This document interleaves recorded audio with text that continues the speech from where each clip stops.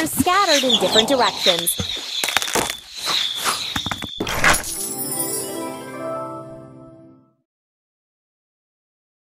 And time has stopped. The number two was caught by a bird and carried to its nest. Let's feed the hungry baby birds with some seeds.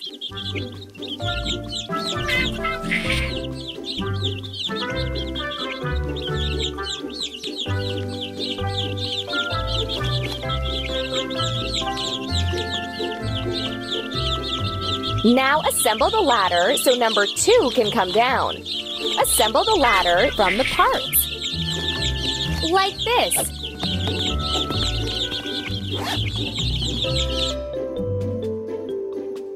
Wash the number two.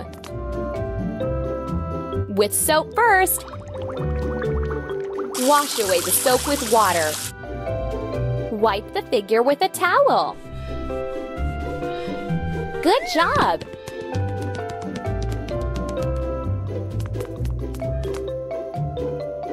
Iron the number two. Ready?